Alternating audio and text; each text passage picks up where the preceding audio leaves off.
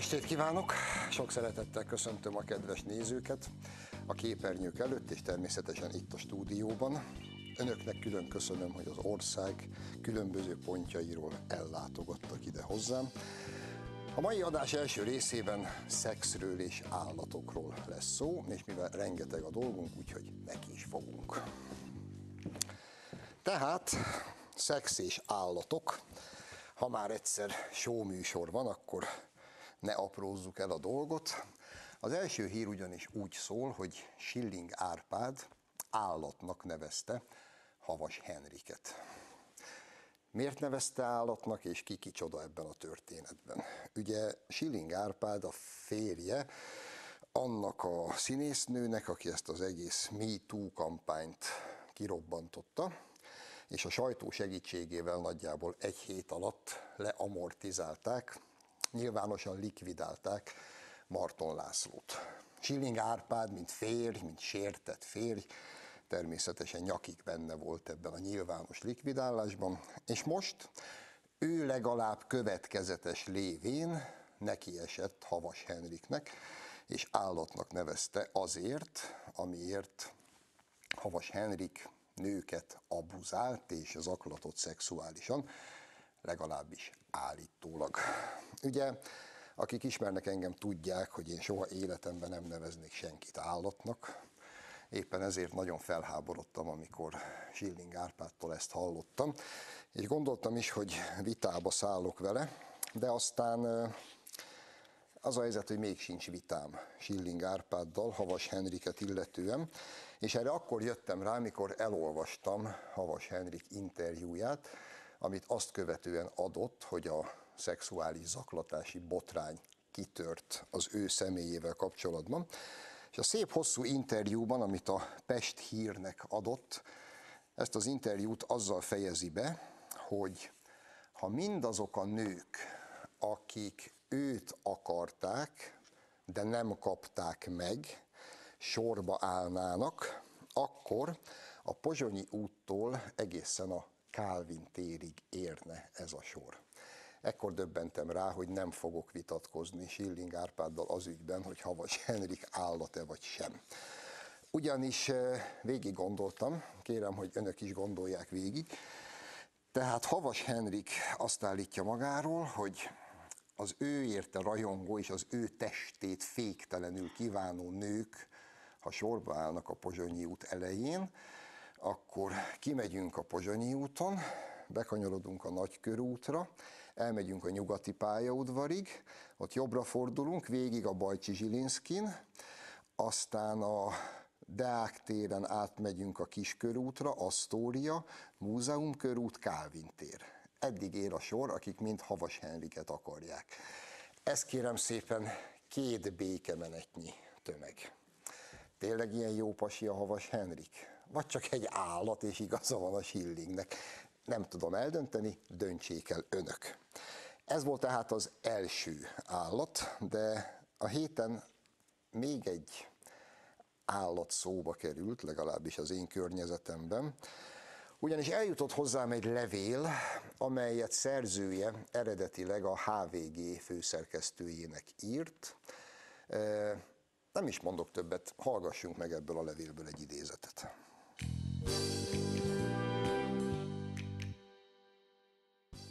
Az öcsém, aki akár a házasságát, a jó hírnevét a szórakoztatóiparban is képes lenne az ügy mellé letenni, alig két hónappal múlt 14 éves, amikor szavér levadázta, engem meg éveken át hitegetett 16 évesen, és ha jogilag nem is, de emberileg megrontott, majd egy idegen országban, ahová elmenekített magával a már gyanút fogó családom és mindenki más szeme elől, egy szinte hajléktalan helyzetben hagyott, miközben előtte majd egy éven át segét vett fel, hogy én a fűtetlen metróállomásokon utcazenéléssel összeszedett pénzből fizessem a számláinkat, és az ő, ahogy később kiderült bizonyos esetekben kéi utazásait.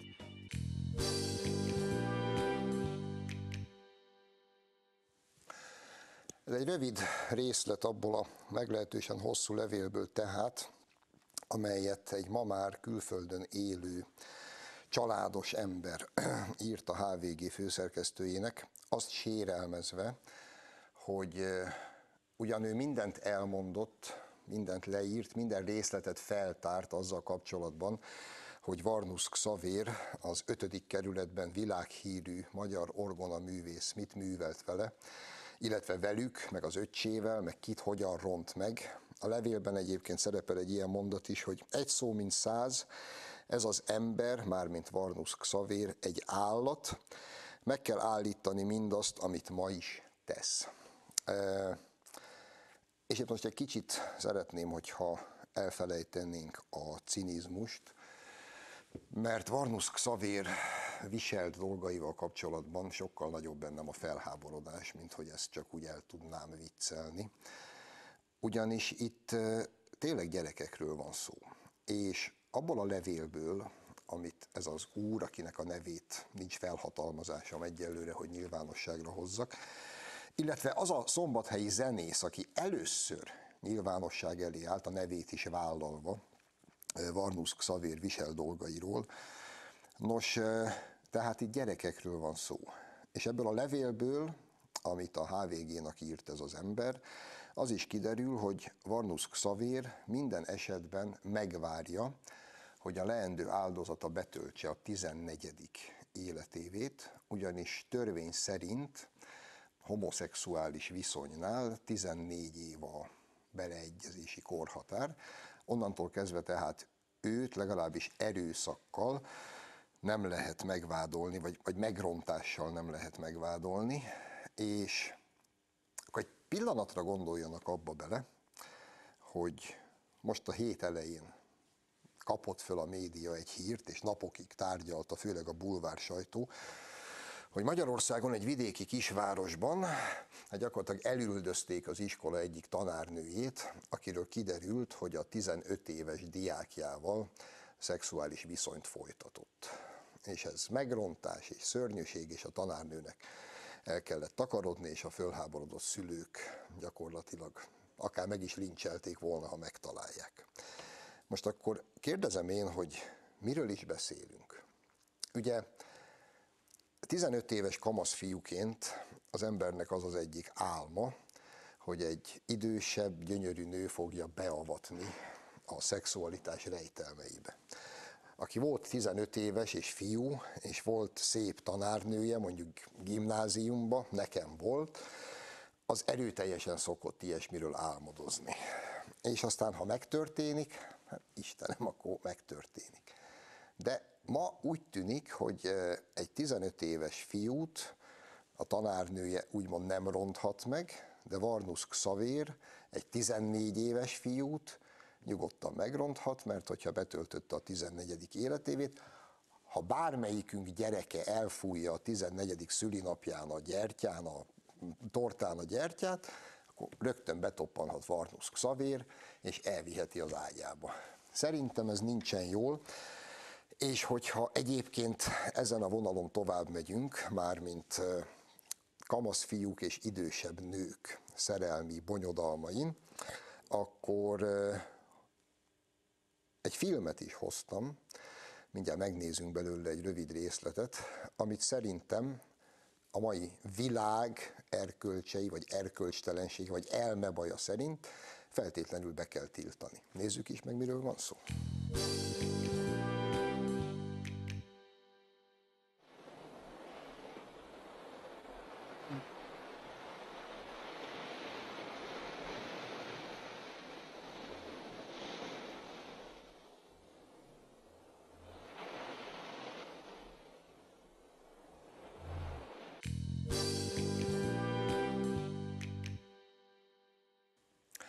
Ugyebár az én korosztályom ifjú korának ikonikus filmjéről, a Kamaszkorom legszebb nyaráról van szó, abból láttunk egy rövid részletet. Ebben a kisvárosban, ahol ezek a kamaszok élnek az Egyesült Államokban, 1942-ben játszódik, második világháború alatt, és van egy gyönyörű 30 év körüli nő, és az egyik főhős fiú, aki szintén ilyen 15-16 éves, beleszeret ebbe a nőbe, minden módon próbálja becserkészni, természetesen nem sikerül neki, hiszen a nő menyasszony, de a vőlegénye a fronton harcol. És amikor meghal a vőlegénye, és erről a nő megkapja az értesítést, azon az éjszakán bánatában, elkeseredésében, kétségbeesésében végül is lefekszik ezzel a 15 éves fiúval. Nyilvánvaló tehát, hogy ezt a filmet be kell tiltani. Ilyesminek nem tehetjük ki a mai fiatal nézőket. De nem állhatunk meg félúton, mert hogyha ezt a filmet betiltottuk, akkor be kell tiltani az én ifjúságom, és teszem hozzá felnőtt korom másik ikonikus filmjét is, amit nagyjából fél évenként megnézek, ezt.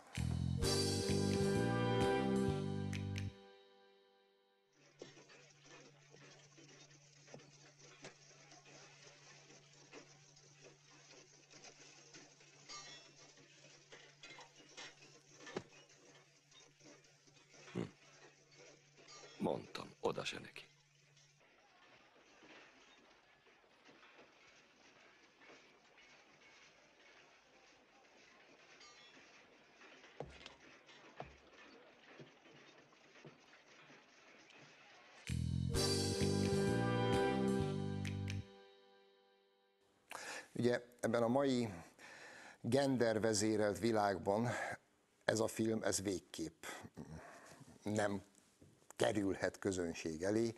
Ugye volt egyszer egy vadnyugat végéből láttunk néhány másodpercet.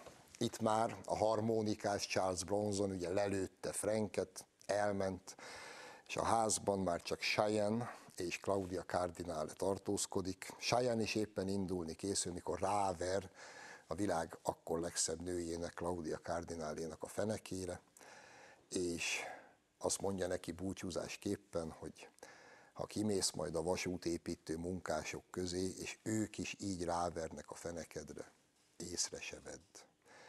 De el sem tudod képzelni, hogy micsoda gyönyörűség egy férfinak, ha láthat egy ilyen nőt. Ezek Cheyenne utolsó szavai, majd kivonul, és kisvártatva meg is hal. És vége a filmnek.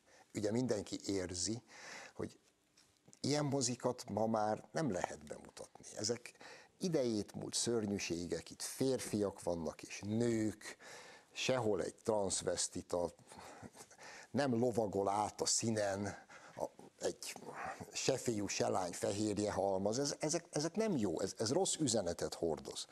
De ne álljunk meg félúton, mert rettenetesen rossz üzenetet hordoz József Attila is, amikor például a Thomas Mann üdvözlésében azt írja, hogy arról van szó, hogy ha te szólsz, ne lohadjunk, de mi férfiak, férfiak maradjunk, s nők a nők, szabadok, kedvesek, és mind ember, mert az egyre kevesebb. Hát mit képzel József Attila, drága véreim? Férfiak legyenek férfiak, a nők pedig nők. Ilyeneket ír le. Be kell tiltani József Attillát. Amúgy csak szeretném jelezni, hogy rengeteget gondolkoztunk Rudas Gabival, a rendezővel, hogy mit is tegyünk ide az íróasztalomra, és aztán végül is emel, ezek mellett a furcsa tárgyak mellett döntöttünk. Ezek nagyon furcsa dolgok. Ezek idejét múlt, régi, elavult ügyek, úgy hívják őket, hogy könyv. Nincsenek benne villódzó képek, nem lehet fölhív, nem lehet betelefonálni, hogy ki énekelt a legszebben, nem lehet szavazni, győzike sem jelenik meg bennük. Ez egyszerűen könyv. Csöndet igényel, odafigyelést, magunkba fordulást, arról nem beszél, hogy olvasni kell őket, szinte felfoghatatlan. És végül is úgy döntöttem, lévén a Gutenberg galaxis megszállott rajongója, hogy akkor tegyünk könyvet az íróasztalomra.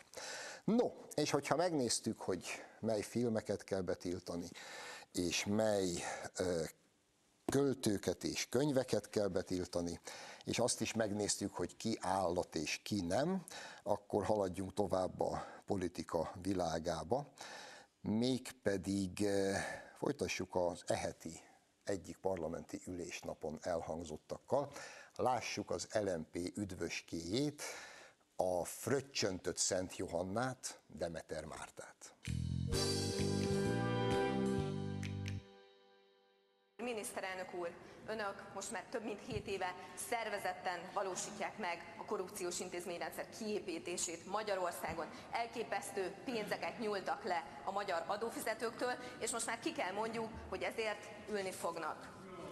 Megnézzük, akkor már most rengeteg BTK-beli tényállást elkövettek, és akkor csak hadd említsem az önnél itt felsoroltakat, ami csak a jéghegy csúcsa. Jelentős mértékű vagyonosodás eltitkolása, hatósági eljárásra utasítás politikai célból, ügyészség és más állami intézmények működésének politikai befolyásolása, 60 pusztai kastély ügye, és még sorolhatnánk, csak ezek költségvetési csalás, hivatali visszaélést is kimerítik. Kérdés nincsen abban, hogy önök el lesznek-e számoltatva, hiszen a 2018-as rendszerváltást követően kőkemény büntetőjogi felelősségre vonásra számíthatnak, attól függetlenül, hogy azt gondolják, hogy esetleg van annyi pénz a zsebükben, hogy ezt megúszják. Nem fogják megúszni, miniszterelnök úr. Amit önök csinálnak, az önmagában már nemzetárulás, hiszen hiszterizálják a magyar társadalmat, miközben pontosan az ellenkezőjét cselekszik annak, amit mondanak.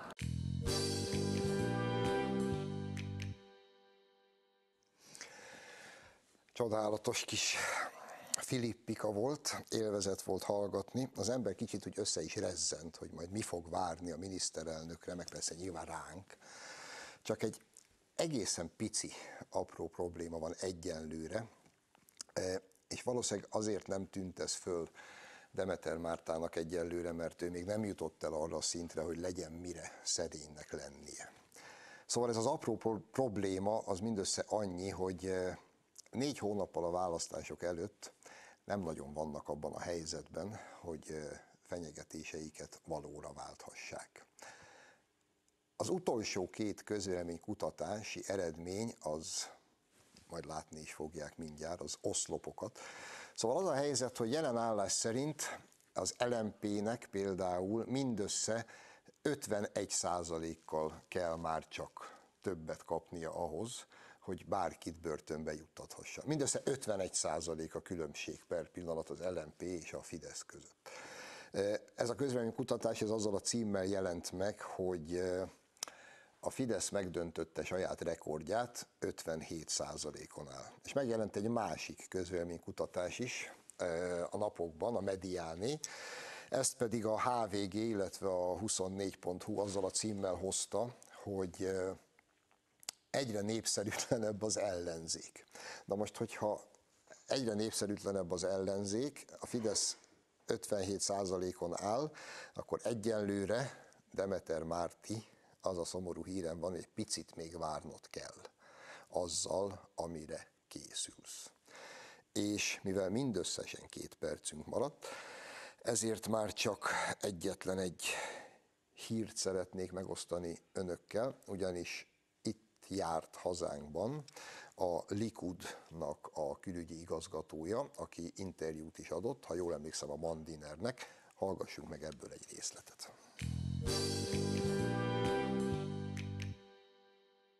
Abszolút támogatom Orbánt Soros ellen. Tudjuk Izraelben, hogy mit jelent Soros. Nagyon nehéz megmagyarázni, mi történt Izraelben Soros kapcsán. Számos NGO-t pénzel, és ez az ő joga, hiszen meg lehet a véleménye, ám ezek erőteljesen és igazságtalanul támadják Izraelt, ezért hozzá hasonlóan demokratikus eszközökkel küzdünk ellenük. Tájékozottam a soros ellenes kampányról, és nem hiszem, hogy az antiszemita. El kell mondanom a magyar zsidó közösségnek, melyet egyéb iránt nagyon nagyra tartok, hogy soros egy katasztrófa. Harcolnunk kell ellene minden elérhető demokratikus eszközzel. Likudnyiként boldogan segítek a magyar kormánynak a soros elleni harcban, de sosem segíteném a zsidó közösséggel szemben. Egyáltalán nem. Soros egy katasztrófa, és a lehető legnagyobb mértékben le kell lépítenünk a hatalmát, mert el akarja pusztítani a normális világunkat, és egy új világot akar építeni. Azonban, ha új világot akar építeni, akkor alapítson pártot és mérettesse meg magát a választáson. Ez így megy. És ha más eszközöket használ, akkor mi is más eszközökkel állítjuk meg. Úgy hiszem, hogy a magyar zsidó közösség soros kampányjal kapcsolatos benyomásai tévesek.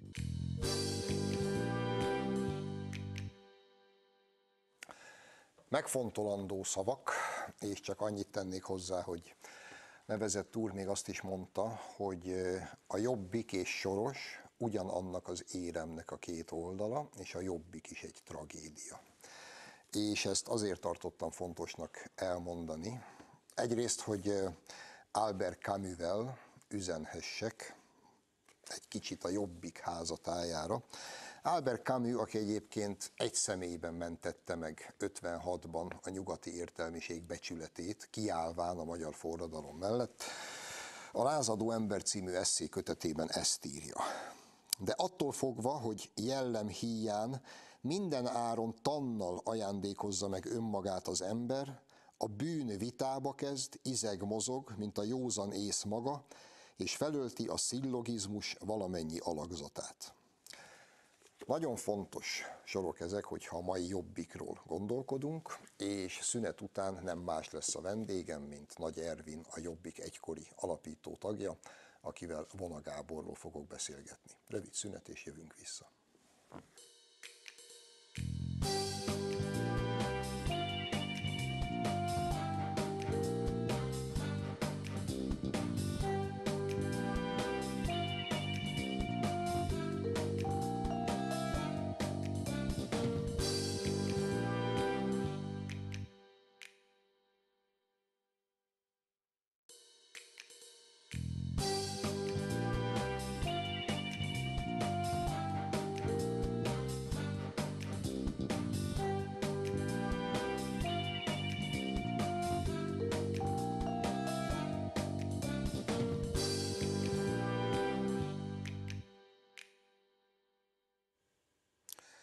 Már is elsuhant ez a röpke kis szünet, kezdődik a második rész. Vendégem a stúdióban Nagy Ervin, filozófus, egyszer is mind a Jobbik alapító tagja. Szerbusz, jó estét kívánok! Szerbusz, jó estét kívánok! És a beszélgetésünk során Jobbik alapítóként és filozófusként is szükségem lesz ma este rád. Mióta ismered Vona Gábort? Egy gimnáziumba jártunk, mindketten gyöngyösiek vagyunk, ő egy másik osztályba járt ugyan, de együtt voltunk testnevelés órán, egy csapatba fociztunk, egy baráti körhöz tartoztunk, tehát mondhatni azt, hogy olyan 14-15 éves korom óta. És amikor Budapestre kerültünk egyetemre, akkor ugye egy kollégiumban laktunk egy ideig, egy baráti társaságban maradtunk, nyilván összetartottunk mi, mint gyöngyösiek, és együtt is kerültünk egy olyan közösségbe, amit akkor még úgy hívtak, hogy jobboldali ifjúsági közösség, ami a Jobbiknak volt egy megelőző civil szervezete, egy ilyen egyetemeken működő non-profit civil szervezet. Akkor ezt, ha jól számolom, hát majdnem 30 éves ismerettség, majdnem. Közel. Akkor viszont úgy is föltehetném ezek után a kérdést, látva a mai Vona Gábort, hogy mióta nem ismered Vona Gábort, és akkor innen elkezdhetnéd az egészet újra elmondani, de komolyra fordítva a szót, ebből a majdnem 30 éves ismerettség után a te számodra meglepetés az, amit most művel, vagy ez, ez bele volt kódolva ebbe a személyiségbe? Nézd, nehéz erre válaszolni, mert igazából én úgy látom, hogy valahol ez ott volt benne ennek a lehetősége. De hát nyilván barátom volt, és egy baráttal az ember mindig elfogult. Azt látni kell, hogy ő 20, 20-as éveiben egy ilyen útkereső fiatalember volt, egy tehetséges történésznek indult, jól tanult, nagyon jók voltak a jegyei neki, és hát kereste a helyét. És azt tudni kell, hogy ő 20 évesen keresztelkedett meg, tehát ugye ez egy ilyen identitásváltás volt az életében, találkozott a kereszténységgel, és komolyan is gondolta, beköltözött egy időre a Ferencesekhez, kollégiumba, és lakott is ott velük.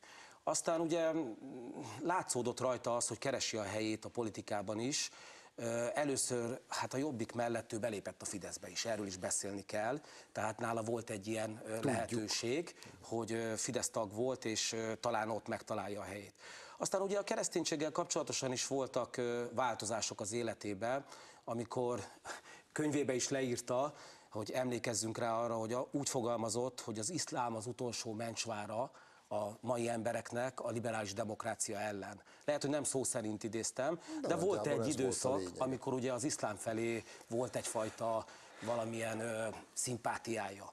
És hát volt egy olyan időszak is, amikor nagyon radikális lett, mi akkor jöttünk el egyébként a Jobbikból, amikor megalapították a gárdát, amikor elindították a cigánybűnözés kommunikációt, és bevették az elnökségbe azt a szegedi családot, aki szó szerint és kőkeményen antiszemita kommunikációt vitt a jobbikban.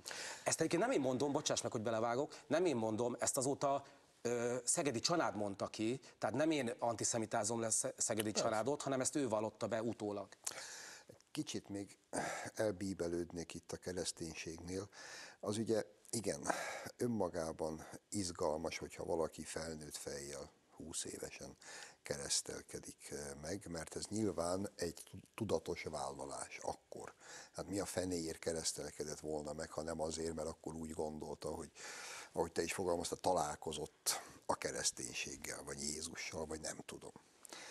Igen ám, de a kereszténység gel való találkozása és az iszlám melletti hitvallás között azért volt egy meglehetősen kemény ilyen pogány korszak is. Tehát azért én, én emlékszem a Jobbiknak arra a korszakára, amikor ugye Kurultáj, ős magyar, Árpád, Árpád király, főiskola, Attila király. At, bocsánat, Attila király, főiskola, Badinyi Jós, tehát ez a, ez a Jézus pártus herceg vonulat, tehát akkor a kereszténységgel való nagy találkozás elég hamar átfordult valami pogány szemléletbe, és a pogányságból mentünk aztán át az iszlámba?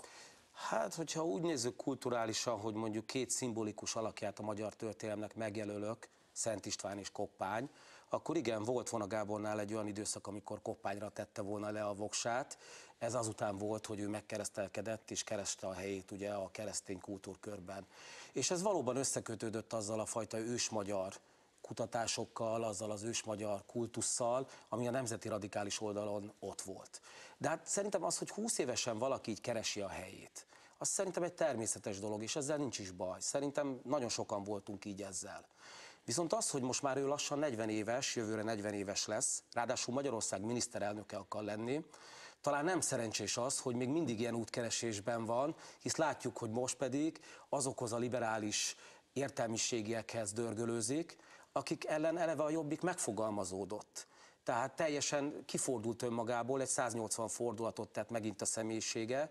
Tehát azt el lehet mondani, hogy igen, kódolva volt az, hogy ő csapong, nincs kialakult világképe, ezek utólag persze már a kérdésedben benne volt, hogy mióta nem tartjuk a kapcsolatot, nyilván a mi baráti kapcsolatunk megromlott, és évek óta nem beszélünk egymással, de látom azt, hogy továbbra is ugyanúgy viselkedik, mint hogyha 20 éves lenne, és ami ebbe a legrosszabb és a legveszélyesebb, hogy ezt a fajta ö, kiszámíthatatlanságot, labilitást ráerőltet egy politikai közösségre, vagy rá akarja erőltetni, mert nem igazán vevők rá most a jobbikba, nagyon sokan a pártagságból jól látszik.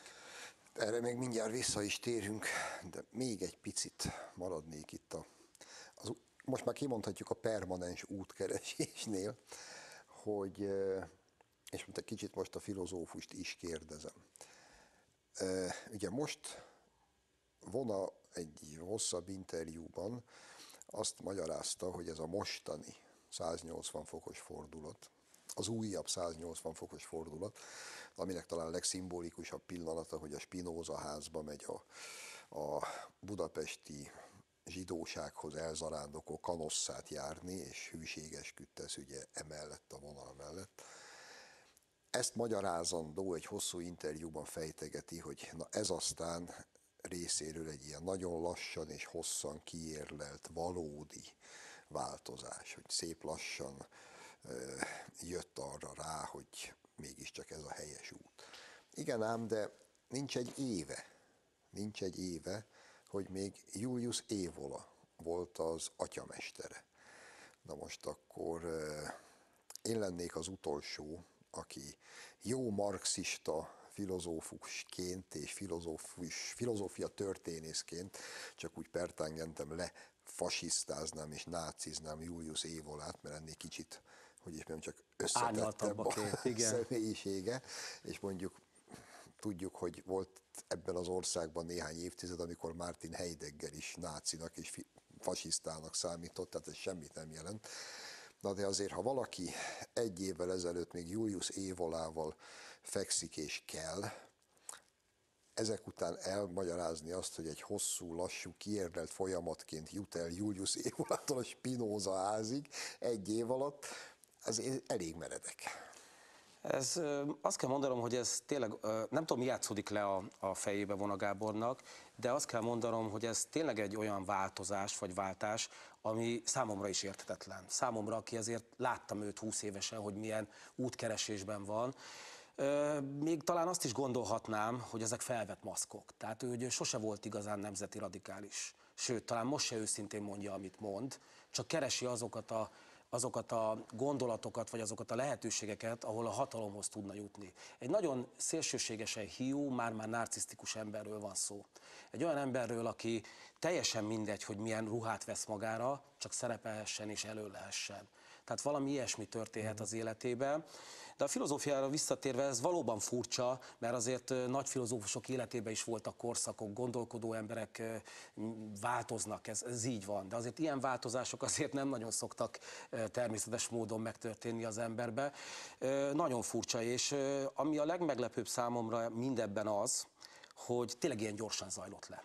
Tehát, hogy fél éve, ahogy mondod, még erről beszélt, és megpróbálták valahol azt a fajta kétkulacsos politikát folytatni a Jobbikban a társaival együtt, hogy egy kicsit a nemzeti radikálisoknak is adunk, meg balra is próbálunk adni. Tehát volt egy ilyen stratégia, és megpróbálták elhitetni azzal a nemzeti radikális szubkultúrával, hogy ez csak a külcsin változik, a belbecs, tehát a tartalom az megmarad. Hát egy Schneider Tamás abban Még a bizonyos mondta, belső igen. beszédében elmondta, hogy nyugi gyerekek, mi ugyanazok vagyunk, csak most kifelé azt kell pofázzuk, hogy mi megszelidültünk, megjuházottunk.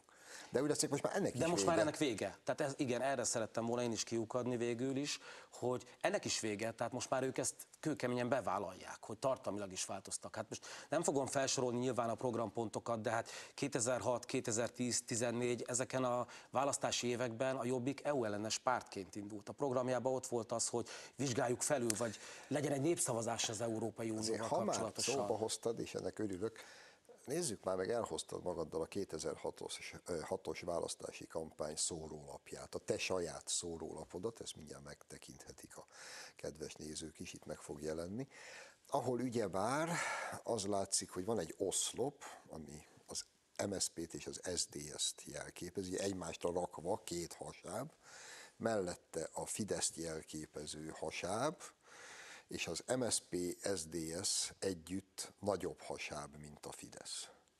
És akkor ugye az van a plakáton, hogy egy kéz így ráteszi a Fidesz hasábjára a miép jobbik kis zöld hasábját, ami ezáltal magasabbá válik, mint a MSP SDS összefogás. Tehát magyarul az volt ugyebár az üzenet, hogy a Jobbik a miéppel egyetemben, a Fidesz oldalán, a Fidesz segítve a balliberális tábor ellen indul harcba. Sőt, ez ugye egy 2006-os ö, választási kampánynak a, a, figura, a figurája, vagy valami fajta grafikája, és azt látni kell, hogy ez minden jelöltnek ott volt a, a hátoldalán, tehát a minden jelölt szórólapjának ott volt a hátoldalán. Azért az enyémet hoztam el, mert nyilván nem akartam mást kellemetlen helyzetbe hozni. Vona Gábor én egyébként nem, mert Vona Gábor 2006-ban nem indult el, mert Önmagában 2006-ban érdekes. ő éppen ö, egy ö, ügynöki tevékenységet végzett, és ö, árult valami biztonságtechnikai porszívót, vagy nem tudom milyen dolgokat. igen. És igazából igen, ez volt az alapkoncepció. Azért azt látni kell, hogy ez azt is szimbolizálja, hogy a Jobbik, amikor 2006-ban elkezdett felfutni. Ugye ez köszönhető a Gyurcsány kormánynak, Gyurcsány kormány hibáinak, bűneinek, morális bűneinek, és a 2006-os őszi eseményeknek. Akkor választottuk meg ugye Vona Gábort, akkor tért vissza a politikába, akkor választottuk meg elnöknek, és az volt a célunk, hogy valóban egy olyan nemzeti radikális pártot hozzunk létre, ami ha kell, akár a Fidesz lelkiismerete is lehet nemzeti kérdésekben, de mindig támogatja nemzeti kérdésekben a Fideszt. Hát erről szól ez a, ez a plakát is, amit láthattak a nézők. És valójában az is volt a célunk Vona Gábor megválasztásával, hogy mivel neki voltak fideszes kapcsolatai a fideszes múltja miatt, ezáltal ő talán jobban tud majd partnerségi viszonyt kialakítani a Fidesszel, mint az előző elnök Kovács Dávid, ugye, aki a mélyben politizált. Világos. És nem is nagyon volt programunk, próbáltunk azért gondolatokat megfogalmazni, de igazából azt el kell mondani, hogy 2006-ban a Jobbik egy protestpárt volt, tehát egy valami ellen fogalmazta meg magát, az MSZP és leginkább az SDS ellen, ezt ábrázolja ez a kép is. És a legnagyobb morális bűn szerintem most az, a Jobbik vezetői részéről és Vona Gábor részéről, hogy pontosan azokhoz dörgölőzik, aki ellen valaha a Jobbik megfogalmazta magát, és egyáltalán ettől tudott az lenni a Jobbik, ami ettől tudott megnőni, parlamenti pártá válni. Hát most, ha el kéne készíteni az új 18-as kis szórólapot, akkor azon csak annyi változást kéne eszközölni, hogy a jó sok hasából álló baloldali tömb tetejére valaki ráteszi Teszi a éppen a Jobbikot. jobbik tömbjét, igen, a DK fölé. No, de visszatérve még egy pillanatra, ahogy összefoglalván egy ilyen nagyon labilis és bizonytalan, és ráadásul narcisztikus személyiség, ő mennyiben volt fogja a mindenkori tanácsadóinak, akik körülvették? Nagyon. Röviden, hosszabban kifejtve, igazából azok a változások, amik az élete során történtek, ott azért megfigyelhető, hogy más-más emberek vették körül. Tehát amikor ő felvette ezt a nemzeti radikális maszkot, hozzáteszem, hogy nem csak a kereszténységet vette fel 20 évesen, hanem nevet is változtatott. Ugye ő Zázrivec Gábor néven született, én Zazának becéztem őt a gimnáziumba, és felvette a Vona Gábor nevet. Egyébként a Jobbikban nem egy névváltoztató van, csak úgy megjegyzem, hogy Toroszkai például Tótnak született, Zékárpád Dániel Zsiga Dánielnek született, csak hát a nemzeti radikális szubkultúrában ezek a nevek nem voltak úgy eladhatóak. Komilfó. Igen, tehát Ezt nem tudtam, de- ez, ez egy identitáskeresés, ami ráadásul nagyon feltűnően látszik a névváltoztatáson is. És visszatérve Gábor személyére és, és, és ezekre a változásokra, hogy ő, hogy ő voltak éppen, amikor ezeket a ezeket a pontokat kereste, akkor mindig voltak körülötte olyan emberek, akik ellátták tanácsokkal. Nyilván, amikor a 2006-os választás után a méppel szorosabb lett a kapcsolat, akkor olyan emberek vették körül, akik inkább a nemzeti radikális szubkultúrából érkeztek. Ugye akkor ő elindította a cigánybűnözés kommunikációt, elindította a magyar gárdát és más ilyeneket. Amiről pedig te is beszéltél, amikor volt ez az Evola korszaka, akkor pedig ö, olyan tanácsadók vettek, ez a Baranyi József nevezetű filozófus például olyan tanácsadók vették őt körül, akik ö, ezeknek a filozófusoknak a szerelmesei, és ö, hallgatott rájuk. Most pedig szerintem ugyanezt történt, vagy történik, jól láthatóan, hogy az iránytű intézetnél, ugye a Forrai Rihárd által megalapított, és egyébként jobbik pénzből, illetve a Simicska Birodalom pénzéből élő iránytű intézet, ott kezdett kialakulni egy új tanácsadó közeg. Egy olyan tanácsadó közeg, amely pragmatikus, egyáltalán nem ismeri a nemzeti radikális szubkultúrát, egyáltalán nem gondolkodik jobb és baloldalba, hanem pusztán számoknak nézi az embereket. És most ezek a tanácsadók veszik körbe Vona Gábort, ezzel nem akarom őt védeni, hogy ő a becsapott ö, ö, vezető, hisz ő hozza meg ezeket a döntéseket, de ezeknek az embereknek egyszerűen nincs meg az a fajta szocializációja, ami a jobb oldalon más tanácsadóknak, vagy más háttérembereknek megvan. Nem is ismerik a közeget. Nem is akarják megismerni a közeget. Ennyiből egyébként gyengekezű Vona Gábor, mert bizonyos szempontból minden döntése, változása mögött mindig ott volt egy olyan közösség, akinek megfelelni szeretett volna. Elérkeztünk a egyik fontos csomópontjához ennek a beszélgetésnek, nevezetesen, hogy mégis mi a mesterterv. Mert ugye most azért azt Vona Gábornak is látnia kell, és az őt éppen aktuálisan körülvevő és tanácsokkal ellátó iránytű intézet is azt méri hónapról hónapra, hogy elment a választóik fele, valahol lebegnek a semmiben, esélyük nincs arra, hogy 18-ban nem, hogy választást nyerjenek, esélyük nincs. Miközben Vona egyébként nem kicsit tette föl a lécet, mikor azt mondta, hogy ha ő nem nyer 18-ba, akkor lemond, kíváncsian várjuk. És ehhez képest ugye még mindig fele nagy magabiztossággal, óriási arccal mondja, amit mond. Azt értem, hogy más nem is tehet. De mégis, mi a mesterterv? Hát látja, hát négy hónapja van hátra, és utána ott fog ülni a semmiben.